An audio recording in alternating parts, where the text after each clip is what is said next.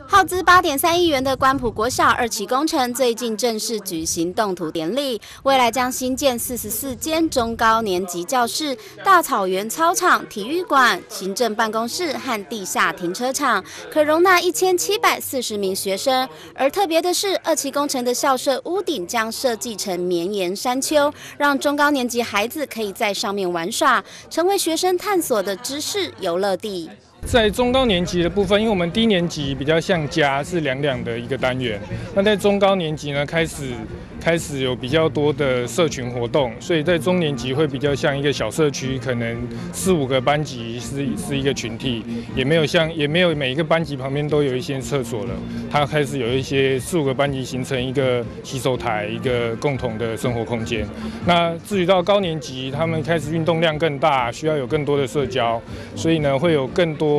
呃和体育馆等等的大型空间的连接。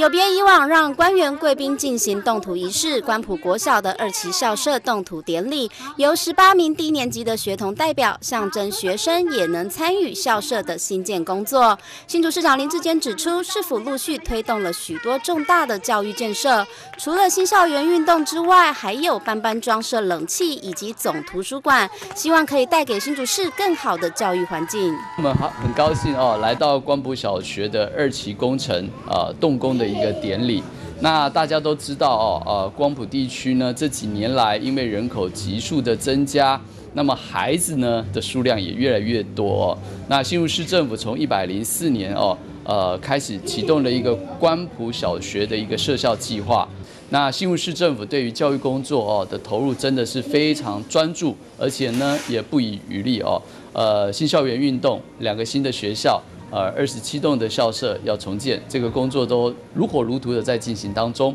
那另外呢，呃，我们非常重视的这一个呃降温计划，要让全市呃四十六所的国中小班班都有冷气，那也都在进行了。那第三个同学步道哦，过去学校周边的这个步道环境不好。那我们也投入一点五亿，现在有十四处在进行当中。那我们也持持续的鼓励学校有需要继续提出计划，我们继续来向中央争取经费。最后一件工作呢，也非常谢谢议会的支持，我们新竹市的总图马上要来进行了哦。那中央支持四亿，新竹市政府要投入四亿，我们要在原文化局的这个办公大楼这里。呃，来盖一个新竹市立的这个总图书馆哦。那我想这样的工作完成，这几个工作陆续完成之后哦，呃，我们新竹市的这些孩子们，他们在学习的过程当中，有最好的空间，有最好的环境，也有最好的学习的一个呃环境。